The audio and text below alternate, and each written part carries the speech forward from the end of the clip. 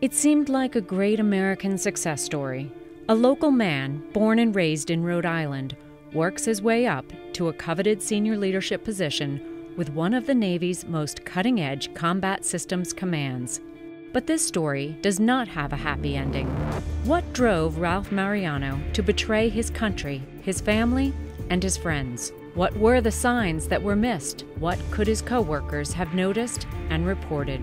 The signs were there, but those who came forward were dismissed. He was very well respected, the type of person, if you needed something to be done, he could get it done and make it happen. Just one of those guys who we, we thought was one of our all stars. However, according to reports from Mariano's coworkers, Ralph was real boisterous, very loud, um, didn't hesitate to swear at people whenever he felt like swearing. If you worked for Ralph, you really weren't too fond of Ralph. Um, he could be very difficult to work for. The risk of fraud is greatest when opportunity, pressure, and rationalization are all present. And in Mariano's case, he felt the pressure to live beyond his means. He rationalized his actions as not harming the command, and he bullied anyone who tried to limit his opportunity. In the mid 90s, apparently he had hit a large jackpot on a slot machine at one of the local casinos. He cleared $69,000 on that jackpot. From that point on, he kind of had the, you know, had the itch. Mr. Mariano lived a high lifestyle. He bought expensive cigars, he went on a lot of trips, and probably the, the most prominent spending habit that he had was gambling. During football season, on Saturday, he would bet $2,000 on every one of the top 25 football games Whatever money was left over, he split up and bet on the pro football games on Sunday, and whatever money was left after that, he would bet on the Monday night football game. We do know that he spent $100,000 on cigars. Mariano claimed to be a dedicated son and friend, but his actions revealed no regard for the people he claimed he cared for.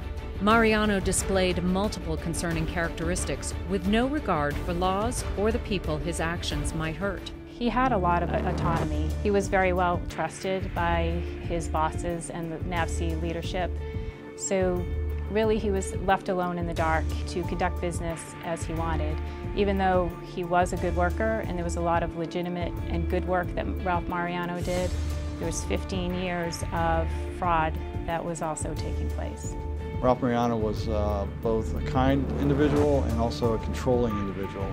So he was very manipulative and surrounded himself with people that were susceptible to control. Ralph Mariano, being having such a strong personality and an intimidating personality, he was able to just make everything just disappear, dismiss everything, um, and move everything in a different direction. So at no point was the fact that the government paid for a product that they could not account for and never received um, that was never reported to NCIS um, or, as far as I can tell, really too far up the chain past Ralph Mariano.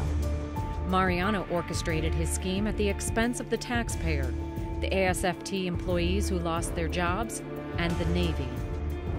He did admit to, over the course of several years, he had taken, in his mind, somewhere in the neighborhood of three to four million dollars uh, his explanation was that when he retired from NUWC, he was going to go to work for ASFT for free to uh, uh, repay the debt back.